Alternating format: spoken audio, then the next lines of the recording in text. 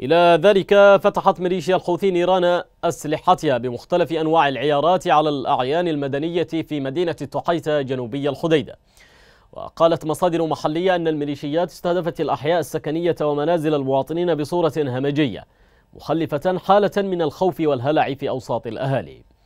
وتواصل الميليشيات استهداف الأحياء والقرى السكنية ومنازل المواطنين في محافظة الحديدة بمختلف أنواع الأسلحة الثقيلة والمتوسطة في إطار خروقاتها للهدنة الأممية.